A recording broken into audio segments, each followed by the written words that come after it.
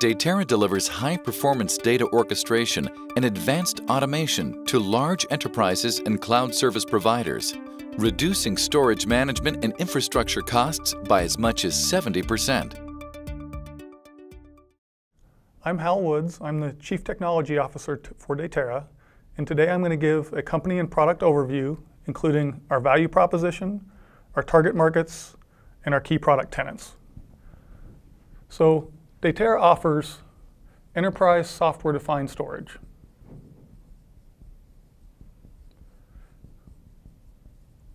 We'll go over what this means in the markets we serve,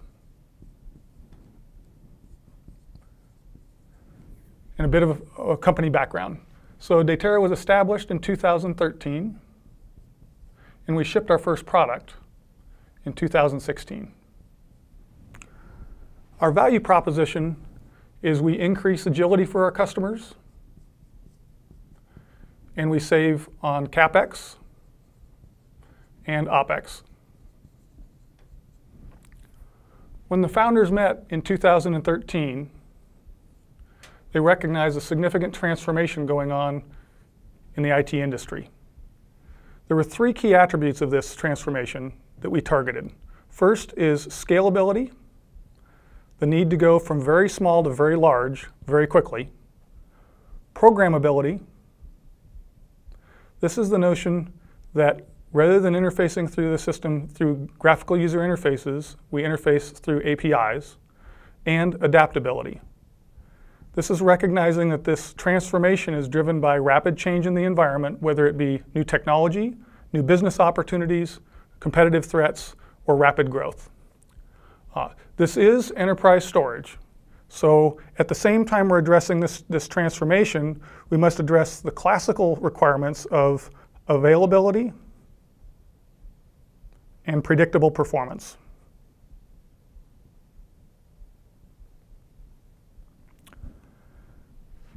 The other thing that's transforming at the same time is the application world. It used to be that applications were run in their own infrastructure, but now we have application instances run in a shared infrastructure that is inherently multi-tenant and multi-application. There is both legacy applications as well as cloud native.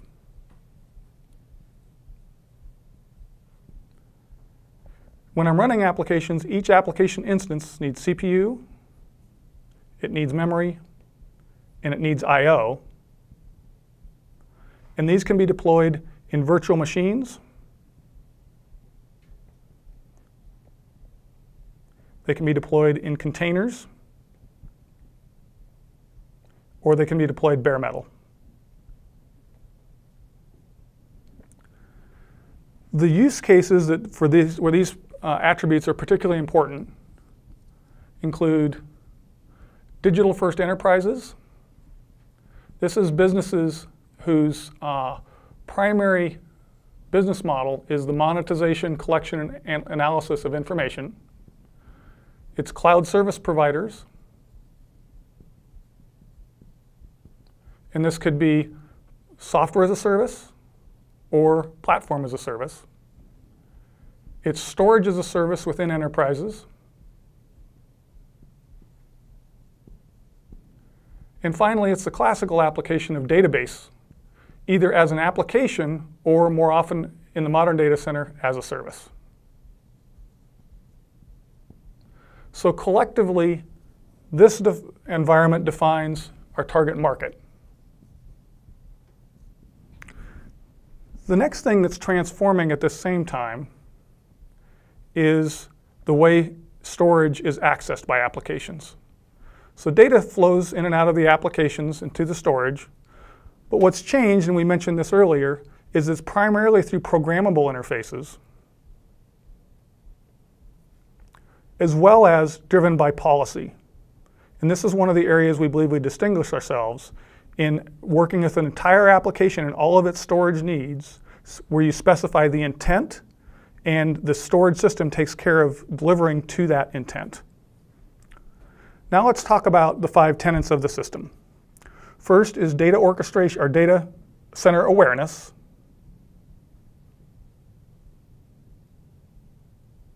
Next is data orchestration.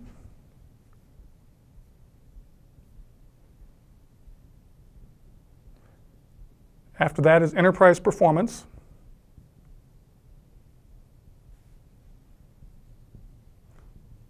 Fourth is rapid technology adoption.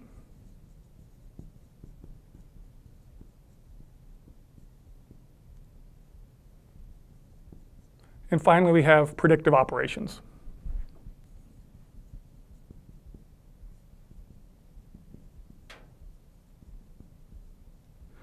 When we talk about data center awareness, we really talk about three attributes. First is the notion, that we already mentioned this, of multi-tenancy.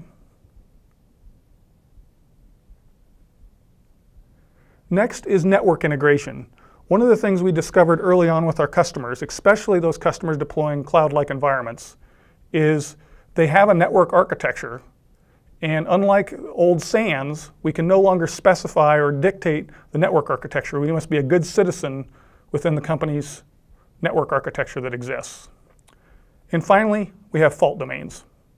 This is the notion that the data center is architected for resiliency and error recovery. So data center awareness, multi-tenant, network integration, and then fault domains. For data orchestration, there's really two key, key attributes of this. Uh, first is continuous availability. We talked about availability as an enterprise storage attribute. This is an extension on that, where we also have to handle technology transitions, policy changes, and rapid growth. In the next, in a key property and our part of our key intellectual property is live data migration. In these systems, policies change, other business attributes change, things change all the time, and we must be able to migrate data within the system non-disruptively while meeting the service level objectives specified in the policy. Next, I want to talk a little bit about enterprise performance. There's two key attributes. We worked very hard to, to deliver what I'll call efficient performance in contrast to historical storage systems which use hyper-optimization creating brittle systems. Uh, when we deliver efficient performance, what we're doing is fundamentally reducing the amount of work required in the system to correctly deliver I.O. So things like our lockless coherency protocol, which reduces the amount of work that is required across the nodes, as well as uh, log structured writes, which reduce the amount of uh, transactions going to the media, increasing media longevity, especially for flash. The next is rich data services. You might ask why we put rich data services under enterprise performance. It's really a, a function of being able to deliver things like dedupe, snapshot,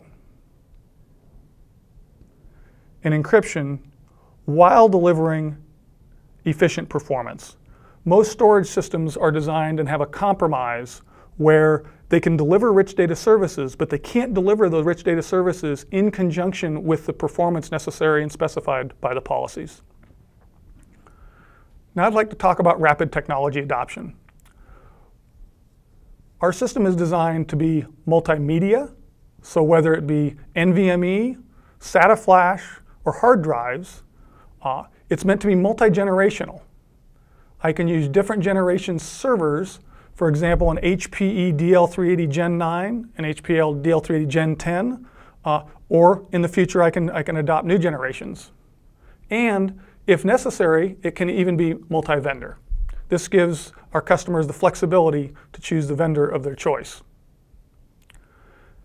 Next, under rapid technology adoption, is what we call asymmetric scale-out. The reason this is important is we don't require the system to be constructed of the same set of resources. Most scale-out systems demand that the, the, nodes in the cluster be balanced and, and, be equal. And what we've done is created uh, some intellectual property that lets us take an inventory of the resources, uh, and we encourage a diverse set of resources, and then map those onto the policies specified in the service level objectives per application instance. And so I'll go through in an example here in a few minutes that really talks about the benefit of this asymmetric scale out.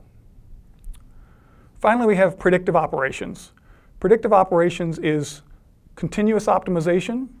The system is always collecting telemetry information, and it is analyzing that information to see if we can run the system more efficiently or better meet the SLAs. And then there's AI-driven automation.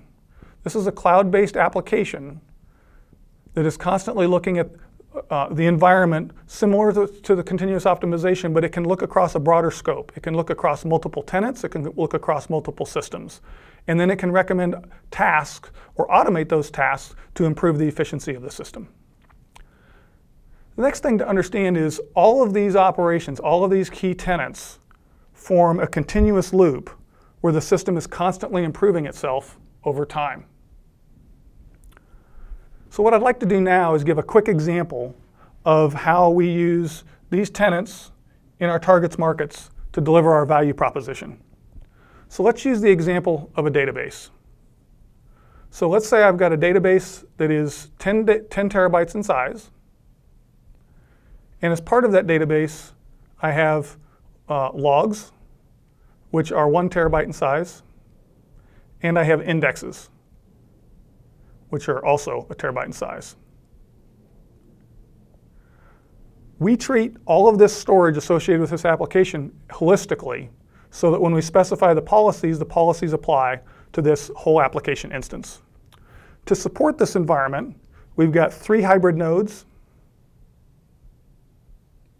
and two SSD nodes. Through an application template, we populate the co connectivity information to connect the application instance to its storage, and all of the other attributes of the storage are specified in the application template and, and then work their, uh, the way into policies.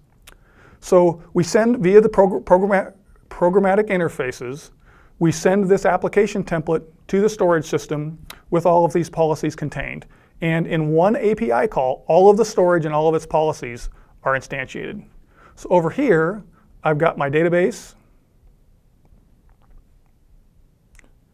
my logs, and my indexes. And the system is up and running, providing that service to, to this, this application. Over time, the system is generating 8K IOPS to the database with a response time of 2 milliseconds. It's generating 12,000 IOPS to the logs with 400 microsecond response time, and it's generating 30,000 IOPS to the indexes with 400 microsecond response time. Now, via our AI-driven automation, we know that this type of application uh, has a very uh, critical dependency on the performance of the overall application on the indexes. And we note that in the policy, we want the indexes to run on the best performance uh, media available. And so the system is continuously optimizing and delivering this performance. Uh, but then something interesting happens. HPE comes out with their Gen 11 server, and it, it offers a new media type in that new generation. So we add a node to this system, which is an Optane node.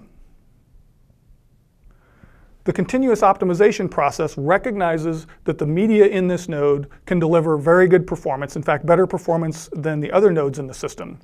So we create a live mi data migration onto this new technology.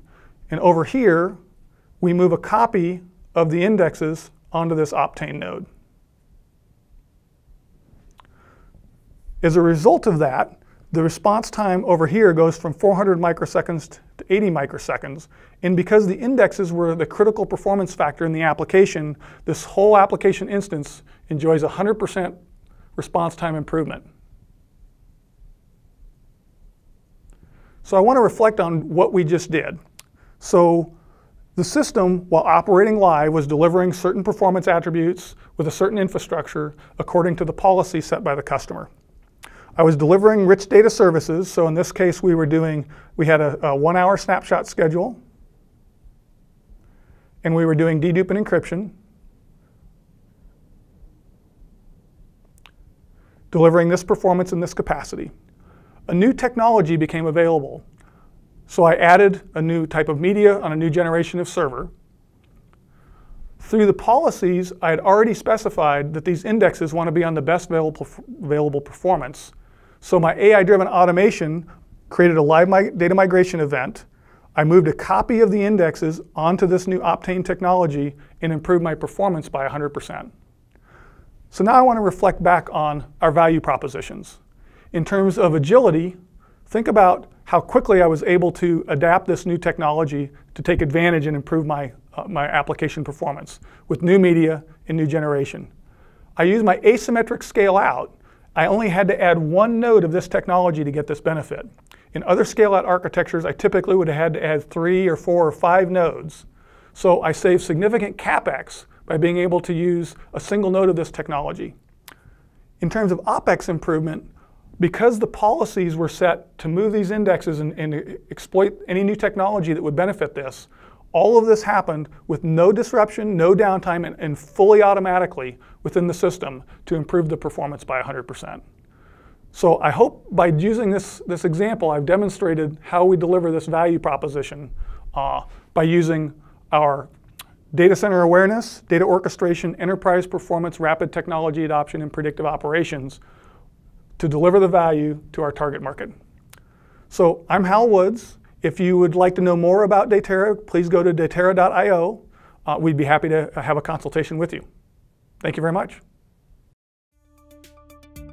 Learn more about how Datera brings the software-defined revolution to enterprise storage at datera.io and contact Datera for a free consultation.